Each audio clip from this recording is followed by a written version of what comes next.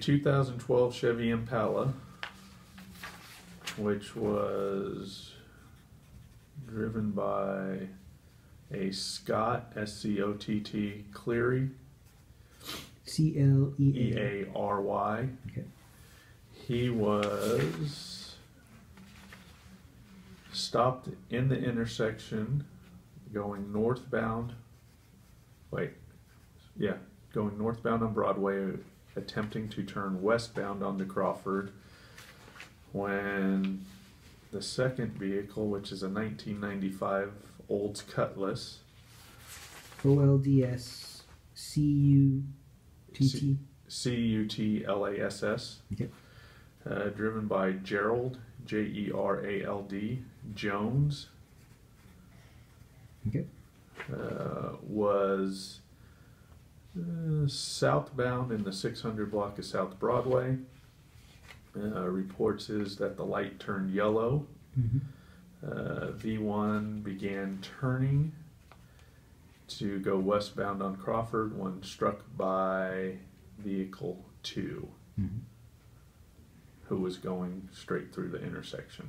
Okay. So, Uh, see. Are they both from Salina? uh, let me double check. I believe they were. Okay. Yes, they're both from Salina. Okay. No injuries. No injuries. Um, how old were they? Uh, Mr. Cleary is 23. Okay.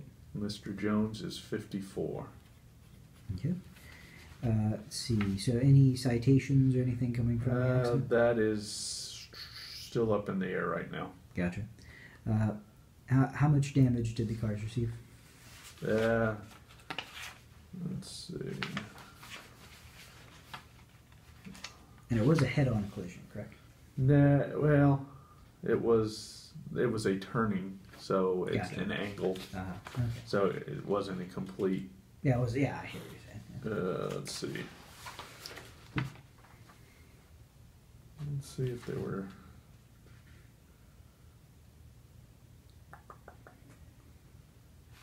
Uh, the first vehicle was removed by the owner and had damage to the driver's side front end, which had the the olds also had driver's side front end damage and was removed by a wrecker.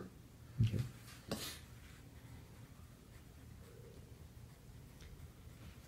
See, and so uh, you would say that neither of them were totaled, correct? I can't say. Well, one was removed by a wrecker. I don't Oh. know. If It it's doesn't. salvageable or not. Yeah, can't Okay. say.